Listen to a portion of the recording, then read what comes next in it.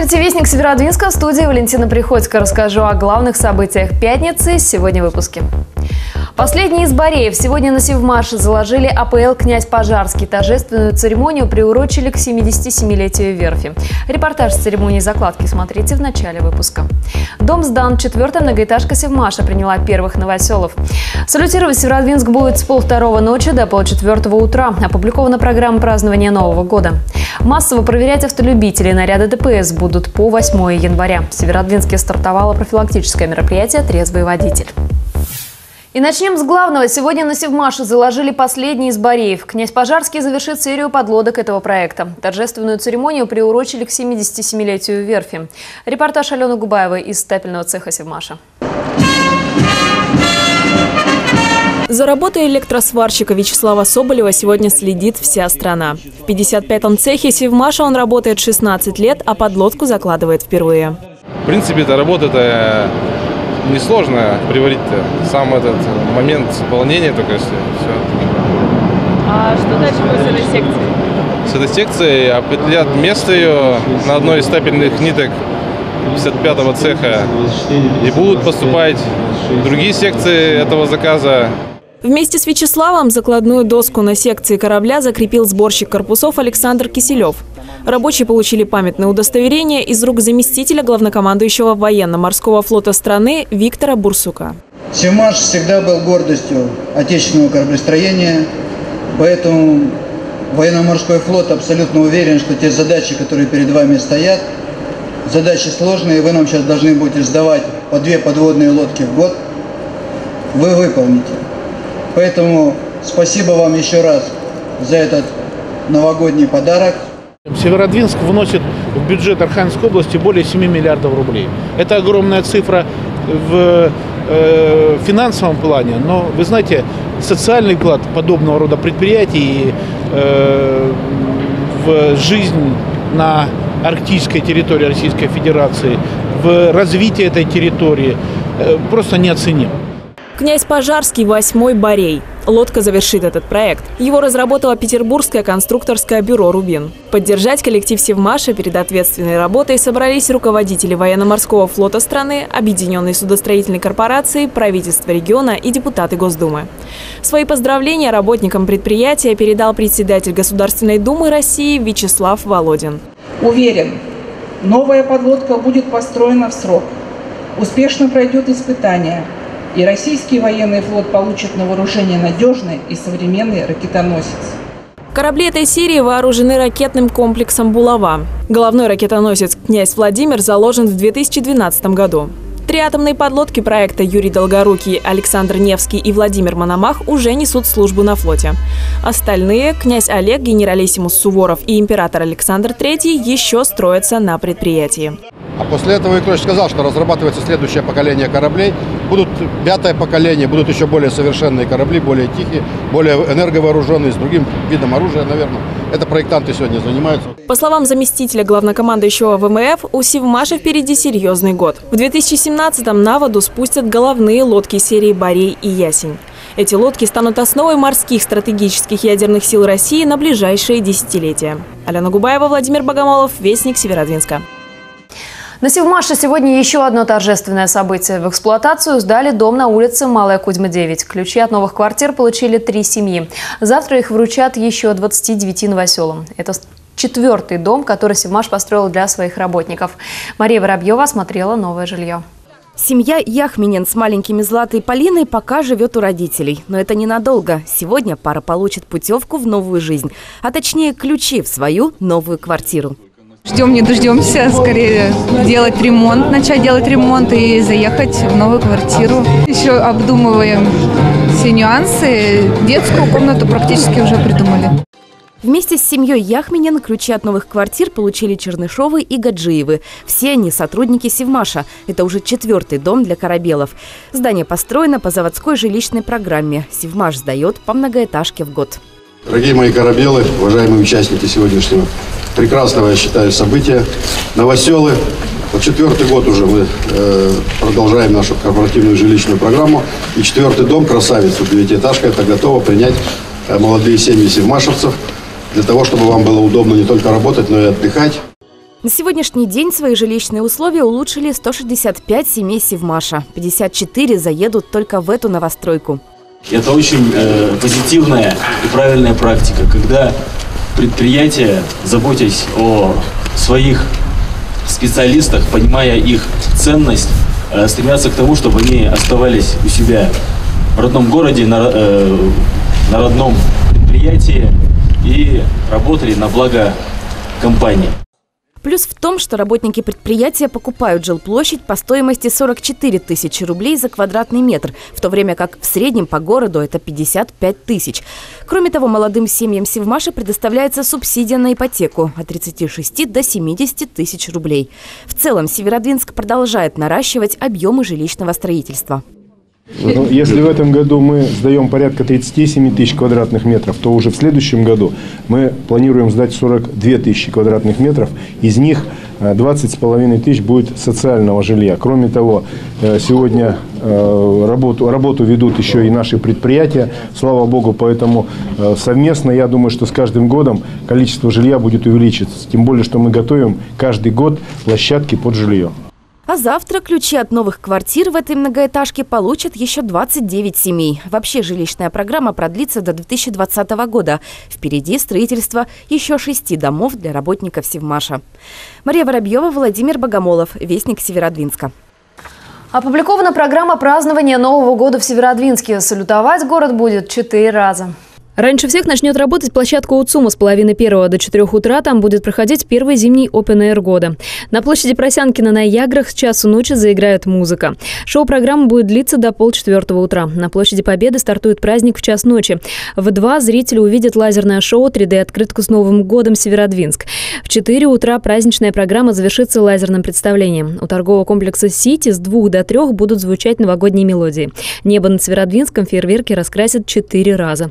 Первый Первые Ягры. Салют там стартует с часу 35 в 2.05 на площади Победы, в полтретьего у Сити и завершится череда фейерверков у ЦУМа в полчетвертого утра. 400 тысяч рублей юным инженерам и техникам в Северодвинске подвели итоги конкурса программ развития муниципальных образовательных учреждений. Кто одержал победу и на что пойдут деньги, расскажет Алена Губаева. Они ждут своей установки. На зимних каникулах пойдет обновление в кабинете информатики. Четыре мощных компьютера и пять новых роботов. Директор девятой школы Елена Комарова рассказывает, 150 тысяч, которые учреждение получило за победу в конкурсе программ развития, не залежались. Эта программа состоит из трех направлений. А, первое направление – школа кораблестроительных специальностей. Второе направление – школьный технопарк. И третье направление – поддержка талантов – у нас имеется опыт и по этим направлениям тоже. Даровитых техников девятой держат в тонусе не только соревнованиями и исследовательскими работами. Отличным подспорьем стало сотрудничество с Севмашем по программе из девятой школы в девятый цех. На базе девятого цеха ребята нашей школы проводят такие профессиональные пробы по профессии, например, трубогибщик. То есть они выходят реально в цех, на реальное производство. Интерес школьников к инженерному делу только растет, но на обновление технической базы постоянно нужны деньги. Субсидия пришлась к месту, также считают и в 17-м лицее. Школа заняла третье место и получила 50 тысяч рублей. Здесь инженерно-техническим творчеством занимается уже 4 года. Растет количество ребят, которые хотят заниматься именно этим направлением, то есть вот этими внеклассными мероприятиями. Для этого необходимы все новые наборы робототехнического творчества. Ну и у нас же техника не стоит на месте, все совершенствуется. Заявки на ежегодный конкурс принимали осенью. Направление в этом году узкое, поэтому участников всего шесть. Зато пробуют свои силы даже дошкольные учреждения. С основами конструирования заявился детский сад номер 69. Задача конкурса заключается в том, чтобы э, развить определенное инновационное направление в сфере образования. И в очном туре э, э, проходит два испытания. Презентацию образовательного учреждения и защиту программы развития по направлению. В следующем году конкурс грантов пройдет в апреле. Его направление организаторы держат в секрете. Алена Губаева, Александр Дятлев, Вестник Северодвинска. Северодвинская ГТРК поменяла свое название, теперь это канал «Свой регион». Мы вещаем по всей Архангельской области. Канал «Свой регион» смотрите в сетях кабельных операторов связи «Ионит Телеком», «Ростелеком», МТС и Архангельской телевизионной компании. А на следующей неделе Поморье окажется под влиянием североатлантических циклонов. По информации Архангельского гидрометцентра, сохранится неустойчивый характер погоды с кратковременным понижением температуры воздуха в середине недели. О погоде на ближайшие дни расскажет Ольга Матвеева. Субботний день порадует нас солнышком. О метеопрогнозах на завтра расскажу вам сразу после коротких анонсов. Смотрите во второй части выпуска. Массово проверять автолюбителей наряды ДПС будут по 8 января. В Северодвинске стартовало профилактическое мероприятие «Трезвый водитель». Материальная поддержка, социальное такси, койки, карты и еще целый ряд мер помощи сегодня оказывается в Северодвинске по муниципальной программе соцподдержки. Кому что положено, разложит по полочкам гость студии Надежда Потехина. Еще один ребенок под колесами автомобиля сбили пятилетнего мальчика, который переходил дорогу на зеленый свет. О происшествиях в рубрике «Протокол».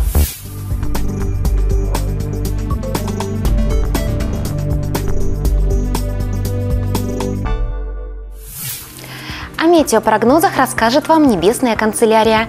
И вас приветствует наш спонсор – фирменный салон «Хилдинг Андерс». Умные спальные системы в новом салоне Hilding Anders. Умные матрасы X-Pro шведского концерна. Это точечная трехмерная поддержка и сон на облаке. Один раз увидеть, чтобы влюбиться навсегда. Hilding Anders. Зарядись для жизни. Город Северодвинск. Заозерный проезд 4. Торговый центр Омега.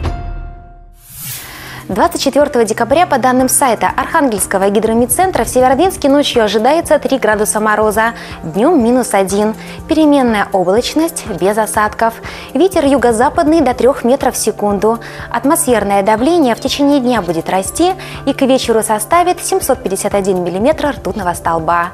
По народному календарю 24 декабря – Никонов день. На Руси говорили «Никон стоит у икон». Люди молились святому, просили отогнать нечистую силу силу, которая кружила по земле метелями. В этот день также зажигали лампады и призывали солнце сойти на землю, вспыхнуть и отогнать нечистую силу. Считалось, что пока день не прибудет, ведьмы будут летать над землей на метлах и поднимать снежные вихри. Удобную постель предлагает фирменный салон Хилдинг Андерс.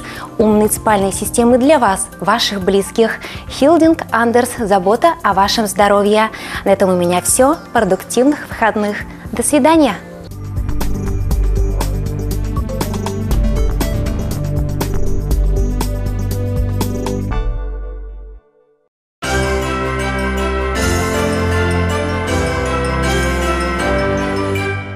Вы не знаете, что подарить хорошему другу или любимому мужчине? Подарите сертификат магазина «Автомастер». Отличное решение. «Автомастер» больше, чем инструмент. Город Северодвинск, улица Железнодорожная, 40.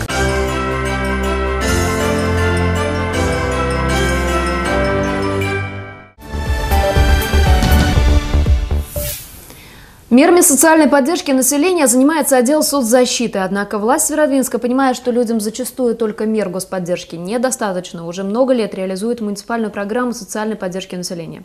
Причем такая программа единственная в нашем регионе. О ней сегодня поговорим с начальником управления социального развития, опеки и попечительства администрации Северодвинска Надеждой Потехиной. Здравствуйте, Надежда Николаевна. Здравствуйте. Надежда Николаевна, скажите, какие виды соцподдержки существуют за счет средств муниципального бюджета и какие суммы были направлены в 2016 году и планируются в 2017. В целях реализации программы социальной поддержки населения в нашем городе существуют различные виды выплат. Первое – это материальная помощь денежная, то есть она носит заявительный характер. Второе – мы выделяем потребительские кредиты на оплату услуг, например, дорогостоящие виды исследования. Третье – в виде ремонта помещений, как, например, у ветеранов войны на это выделены тоже определенные деньги. Кроме этого, мы оплачиваем питание, мы выдаем талоны на питание, мы оплачиваем питание малоимущим в школах, мы оплачиваем канцелярские товары, покупку, мы оплачиваем э, помощь многодетным мамам. Значит, единовременная выплата 4 500 в этом году и на следующий год такая же цифра пойдет. Дорогостоящие виды исследований у нас была заложена миллион. И старатель 526 – это определенные технические нюансы по количеству заявлений, которые к нам пришли. На следующий год сохранена сумма в виде миллиона. Следующее – питание малоимущих. Мы потратили миллион восемьсот восемьдесят. Это немалые суммы. Кроме всего прочего, мы возим горожан на социальных такси. Я хочу только сразу, чтобы все понимали, что программа социальной поддержки – это программа поддержки малоимущих слоей населения. То есть это совсем не говорит о том, что я пойду напишу и сегодня получу материальную помощь. Существуют определенные критерии, определенные документы, которые мы запрашиваем. Э, значит, и программа социальной такси, сюда мы оплачиваем проезд онкобольных в автобусах междугородных, мы оплачиваем проезд по городу инвалидов первой группы, получающих гемодиализ. Мы проплачиваем детей, имеющих группы инвалидности, имеющимся проблемы с передвижениями, и лиц первой группы по зрению. Ведется ли какая-то статистика, что вот столько-то воспользовались э, человеку в 2016 году мерами соцподдержки? И назовите самые популярные. Хорошо. Если я вам скажу, вот, например, что у нас на получили помощь денежную более тысячи человек. Талонов на питание мы выдали более 16 тысяч. Цифры, конечно, очень впечатляющие, небольшие цифры. Мы выдали на проезд, например, больным, э, где-то больше 6 тысяч талонов на соцтакси. Кроме этого, мы выдаем талоны и э, поддерживаем общественные организации. У нас их более 20. То есть они реализуют свои мероприятия, э, как у них прописано в уставной деятельности, более трех миллионов мы туда отдали. Человек хочет воспользоваться мерой социальной поддержки, куда ему конкретно приходить и с какими документами? Значит, если человек хочет, хочет получить э, материальную помощь, допустим, все знают, что носит заявительный характер, я уже об этом сказала. Обращаются либо к нам в управление, мы на плюс не нас сидим, все знают, 311 кабинет, либо на Ломоносова 41А. На втором этаже у нас располагается медико-социальный отдел. Там заявления принимают, там есть определенный перечень документов, э, справка о составе семьи, справка о доходах, и снился мы берем, и расчетный счет, куда потом могут быть переведены деньги. Естественно, в выдаче какого вида материальной помощи какого-либо мы опираемся на прожиточный минимум. На сегодня прожиточный минимум это 10 350. Поэтому если вот это все соответствует, если малоимущие одинокие, значит, вот для него только эта цифра. Если не одинокие, значит, э, э, доход считается в совокупности. И мало того, я хочу сказать, что материальная помощь выдается на семью один раз в год. Спасибо большое, Надежда Николаевна. Я напомню телезрителям, что у нас в гостях была начальник управления социального развития, опеки и попечительства администрации Северодвинска Надежда Потехина. И в продолжении темы. За 2016 год более тысячи северодвинцев воспользовались такой мерой соцподдержки по муниципальной программе, как адресная помощь. Буквально накануне специалисты медико-социального отдела экстренно сработали по заявлению многодетной мамы. Материальную помощь она попросила на новогодние подарки для своих сыновей. Четыре сына, и для каждого нужно устроить праздник, чтобы запомнился надолго. А у мальчиков запросы согласно возрасту. Чем старше, тем серьезней. Я попросил Деда Мороза трактор на управление, роторный экскаватор из Лего Техник. Я заказал Дед Морозу мини-компьютер. Я, например, квадрокоптер. Светлана воспитывает детей одна, полтора месяца. Многодетная мама по очереди то с одним, то с другим сидела на больничном. По профессии риэлтора заработать за это время не удалось. А на носу праздник. Да, допустим, по алиментам у нас э, от первого папы ну, не поступает совершенно, это в Москве. То есть из-за него, получается, я не получаю детских пособий в данный момент тоже, потому что собесу надо тоже предоставлять справки, какие вот элементы поступают или не поступали. Здесь девочки просто попросили, говорят, закажите выписку с банковского счета, отметьте, что там алименты, допустим, если они были или их нету. То есть все, в принципе, они быстро сработали. Деньги на подарки детям Светлана попросила в Управление социального развития, опеки и попечительства. Написала заявление, предоставила документы и проблему решили за три дня. Безвозмездно выдали 5 тысяч рублей. Потребуется в разных случаях разный пакет документов. Это обязательно паспорт, справку из Дома управления о составе семьи, справку о доходах всех членов семьи, причем в доходы мы учитываем и заработную плату, и пенсию, пособие по инвалидности, и алименты и так далее – документы, которые подтверждают социальную незащищенность. Предоставить материальную помощь в управлении могут раз в год малообеспеченным, социально незащищенным, инвалидам и просто оказавшимся в трудной ситуации жителям Северодвинска. Суммы разные. Максимум могут выдать 10 тысяч рублей. Заявление принимают на Ломоносова 41А. Эфир продолжит рубрика «Культурный город». Слово Марии Воробьевой. Спонсор рубрики «Культурный город» – торговая сеть «Пеликан». Не пропусти игрушечный переполох перед Новым годом. Внимание! Игрушечный переполох в «Пеликане». Настоящие фантазеры построят из конструктора свой собственный яркий необычный мир. Больше деталек, больше фантазий, больше улыбок. Маленьких принцесс ждет сказочный мир кукол из России и Германии. А сколько у нас отличных игрушек для мальчишек. Супергерои, трансформеры, машинки. Даже папа попросит поиграть. Наши игрушки приносят радость, становятся вашему ребенку настоящим другом и помощником в исследовании всего нового и интересного. И пусть взрослых не смущают наши низкие цены, ведь «Пеликан» – это сочетание качества, безопасности и постоянного обновления ассортимента. Мы ждем вас в ЦУМе, «Радуге» и в нашем магазине «Лучик» на труда 55. Телефон 522 001. Здравствуйте! Тандем семейный и творческий. Алла и Константин Семеновы открыли выставку картин в ЦК ИОМ. Она пишет портреты, он городские и морские пейзажи, натюрморты. С художниками встретилась и наша съемочная группа. Это их первый совместный вернисаж, да и вообще первая выставка Семеновых в Северодвинске.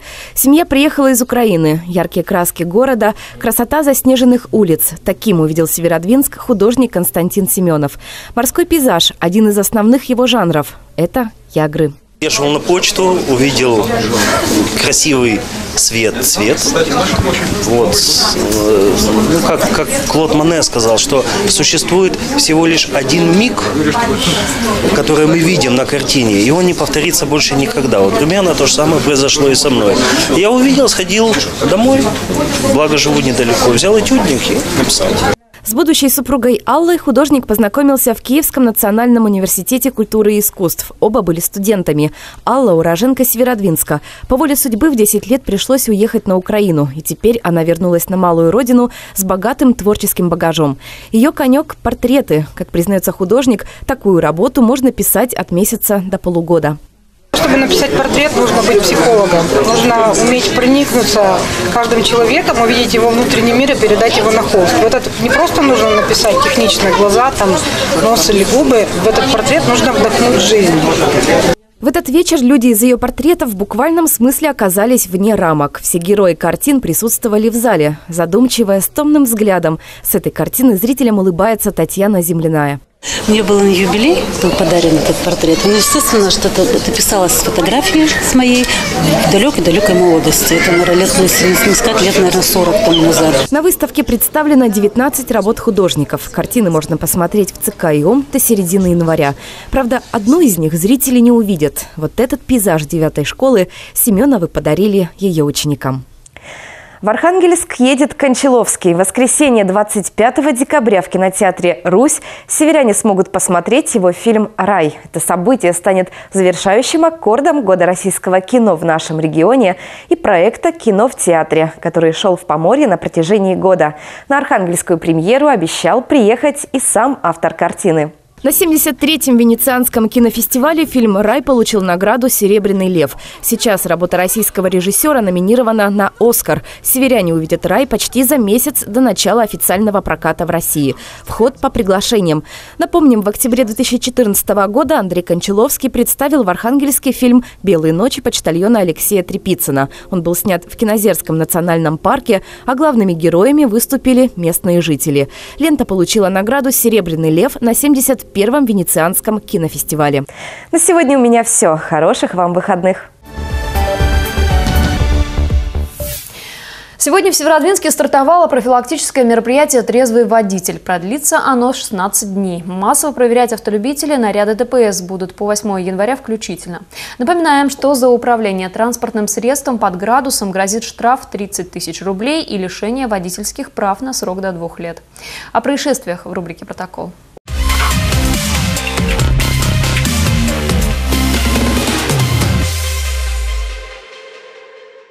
Еще один ребенок накануне оказался под колесами автомобиля. ДТП произошло в шестом часу вечера на пересечении Ленина и Южной. Пятилетний мальчик переходил дорогу на зеленый свет и попал под колеса «Шевроле». Я начал переходить дорогу вот с той стороны, получается, с, э, со стороны Ленина, в сторону ДК. Как начал переходить, смотрю, машина поворачивает налево и сбил на переходе ребенка. Ну а так, ребенок также шел на зеленый, как я. Он один шел? Нет, они шли группа детей, просто они в ряд шли, получается, последнего ребенка задели. Водитель утверждает, ребенка не заметил из-за другого автомобиля. У мальчика ушиб стопы и голени, остальные дети не пострадали. Не дождался взаимности и решил отомстить. Сотрудники Следственного комитета и уголовного розыска около года расследовали уголовное дело о заказном убийстве Северодвинки. Предприниматель, уроженец ближнего зарубежья, был неравнодушен к девушке, но она не ответила ему взаимностью. Мужчина воспринял это как личное оскорбление. После длительного времени предприниматель пришел к, к мысли о том, что необходимо девушку наказать за эти вещи. Он с этой целью привлек своего знакомого, которому за вознаграждение э, пообещал вознаграждение за то, чтобы последний э, искалечил девушку. Знакомый нашел другого исполнителя, пообещав ему часть вознаграждения. Покушение готовили долго, за девушкой следили. Первая попытка была неудачной, преступников заметили. Они ударили девушку молотком по голове, но заказчик посчитал, что нанесенных увечий недостаточно. 18 ноября 2015 года на девушку совершили повторное покушение. Ее тело нашли во дворе с множественными ножевыми ранениями. На посредника следствие вышло только спустя полгода. Во время следствия исполнитель преступления умер, а заказчик в настоящее время находится в международном розыске. Если заказчика найдут, ему грозит вплоть до пожизненного срока. Наказание для посредника определит суд.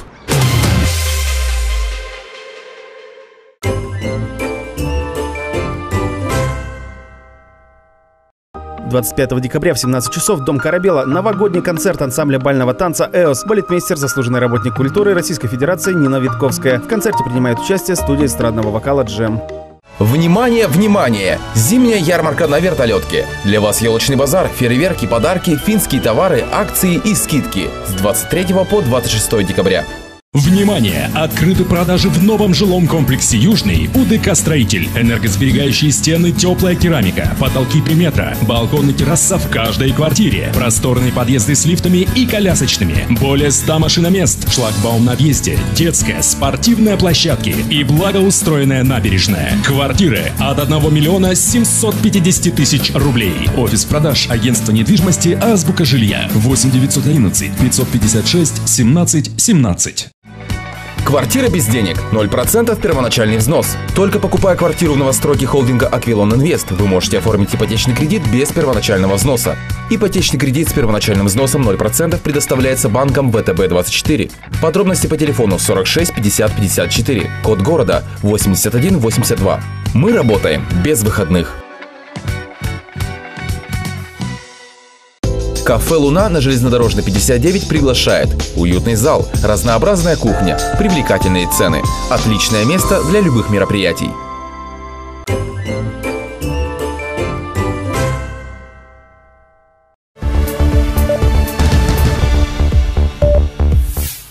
И о спорте. После двухнедельного перерыва в чемпионате города по мини-футболу команды «Севмаш» и «Звездочка» провели очный поединок. Из-за множества пауз матч разбился на отдельные части, но болельщиков эта игра не оставила равнодушными. Константин Мухин о новостях спорта. Команда «Звездочка» – главный фаворит всех турниров нынешнего сезона. Вот и в чемпионате города «Красная машина» едет на первом месте без поражений. Севмаш расположился на второй строчке, но у подопечных Николая Кулаковского не такой гладкий путь, как у их визави. Футболисты МЧС били севмашевцев. Что касается данного матча, то уже в первом тайме судьям пришлось успокаивать футболистов. Я первый на второй отрезок игры соперники выходили при счете 2-2, и до обидного автогола Никиты Уханова Сивмаш смотрелся на равных. Градус матча повышался с каждой минутой, и футболисты не щадили друг друга, и все же в игре характеров прочнее оказались гости. На один гол Сивмаша звездочка ответила четырьмя точными ударами и победила со счетом 3-7.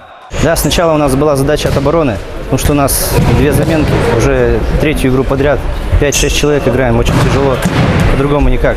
Ну, в общем-то, несмотря на проигрыш, остались довольны игрой, и извлекли с этого. Потому что Да. с звездочкой можно бороться, как ну, показывает Конечно, можно бороться, просто нужно моменты реализовывать и все. Да, эти паузы очень плохо влияло на нашу игру, постоянно заводились, после этих пауз застывали, снова надо было входить в игру. Да, сегодня игра была намного сложнее, чем на область. У Севмаша состав на город даже сильнее, чем на область, и думаю, из-за этого нам было все намного сложнее. Сегодня команда «Звездочка» отправилась на выездной матч чемпионата области в Котлас, а вся борьба за медали городского турнира еще впереди.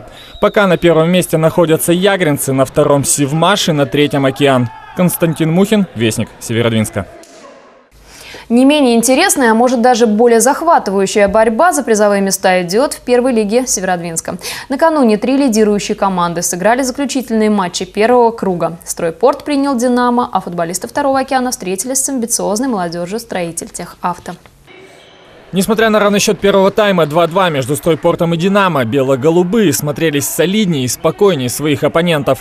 Во втором отрезке игры любители футбола вновь увидели Сергея Федотова во всей красе. К двум голам, забитым в первой половине, Федотов добавил столько же. Плюс пять мячей, забитых его партнерами по команде, сделали разгромный счет для футболистов Стройпорта 2-9.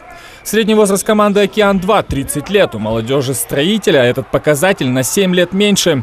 Не в пользу моряков играла и короткая скамейка запасных. Все же поединок получился быстрым, интересным и боевым. Была в матче и красная карточка. С поля удалили капитана «Океана» Александра Брюшинина. Итог противостояния молодости и опыта закончился в ничью 3-3. Если команда «Риф» 24 декабря обыграет «Спектр», то она поднимется на второе место. В Северодвинске прошли открытые чемпионаты первенства города по рукопашному бою. В соревнованиях приняли участие 64 бойца из Архангельска, Новодвинска, Северодвинска, Онеги и села Каргопоры. Турнир стал квалификационным для трех возрастов юношей и последним шансом попасть в состав сборной Архангельской области. В возрастной группе 14-15 лет такого права добился северодвинец Артем Делегевич. Юноша стал победителем первенства в весовой категории до 60 килограммов. Фадей Сауков застолбил себе место в команде еще на областном турнире, а на домашнем ринге удостоился серебра. Павел Ступин находится в резерве сборной, а в турнире стал третьим. Что касается чемпионата, то он на счету хозяев три золотые медали. Лучшими в своих весовых категориях стали Айнудин Мусалаев, Борис Делебазогло и Алексей Смирнов. Коряжме завершилось первенство Северо-Запада России по баскетболу среди юношеских команд 2004 года рождения. На кону стояли не только медали турнира, но и путевки в полуфинал первенства страны. Их было три. Подопечные Руслана Наманова показали на турнире самую высокую результативность из шести команд. Северодвинские баскетболисты уверенно разгромили сверстников из четырех коллективов. Ключевым матчем за золото турнира стал матч против Сдюшор номер один Адмиралтейского района Санкт-Петербурга. Ведя в счете, наши ребята отдали игру за одну минуту. Итоговый счет 42-48. Серебряные медали Северо-Западного федерального округа и самая главная путевка в полуфинал первенства России в руках у наших баскетболистов. На сегодня это все новости. Материалы выпуска вы можете посмотреть на сайте северодвинск.тв. До свидания.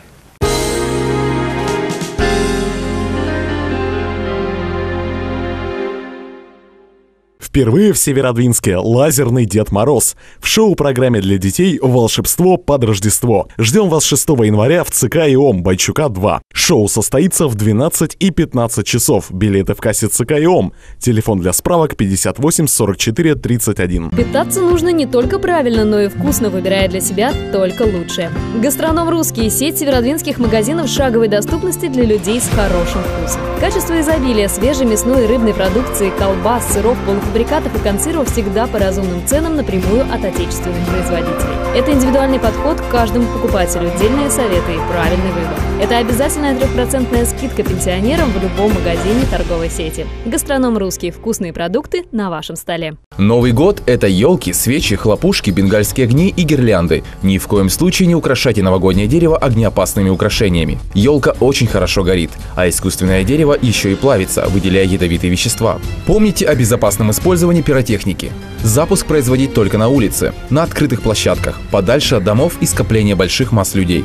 Не давайте пиротехнические изделия в руки несовершеннолетним. Не омрачайте себе праздник. При обнаружении возгорания немедленно сообщите пожарную охрану по телефону 01, с мобильного телефона 101. Отдел гражданской защиты администрации Северодвинска. Телефон 58 34 54. Новый год! Возможно, все! Золотой. Модно, стильно, доступно.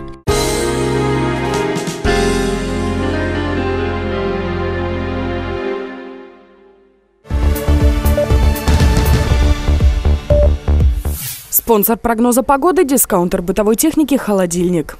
Новогодняя распродажа в дискаунтерах «Холодильник». Сотни идей для подарков со скидками до 20%. Например, телевизор за 7900 рублей, швейная машина за 4900 рублей, электрическая печь за 1790 рублей, блендер за 1990, летая сковорода за 990 рублей, тостер за 790 рублей, кухонные весы за 550 рублей, чайник за 490 рублей, машинка для стрижки за 440 рублей, миксер за 490 рублей. И, конечно, сюрпризы всем покупателям.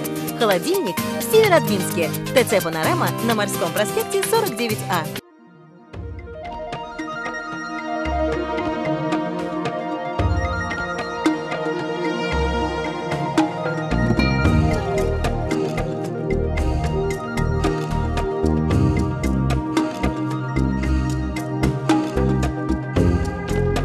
24 декабря по данным сайта Архангельского гидрометцентра в Северодвинске ожидается ветер юго-западный до 3 метров в секунду. Атмосферное давление в течение дня будет расти и к вечеру составит 751 миллиметр ртутного столба. Переменная облачность без осадков. Температура ночью минус 3, днем до 1 градуса ниже нуля. Спонсор прогноза погоды – дискаунтер бытовой техники «Холодильник». Всегда большой выбор качественной бытовой техники по низким ценам. В преддверии Нового года скидки до 20% всем покупателям. Дискаунтер «Холодильник» в Северодвинске на Морском 49А.